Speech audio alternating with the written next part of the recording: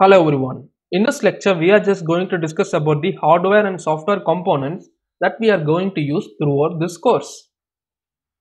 The development board that we are going to use is Arduino Uno development board.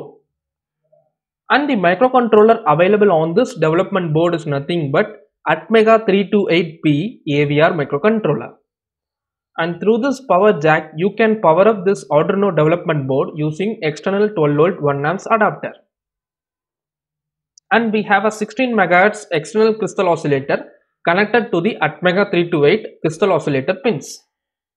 And through this USB port, you can connect this Arduino development board to your PC USB port for programming this microcontroller. And this is the reset button of the Arduino development board which is connected to the reset pin of the Atmega 328. And this is the onboard ICSP programmer which is used for loading the flash onto the microcontroller. And we have one onboard LED which is connected to the digital pin 13 of our Arduino development board.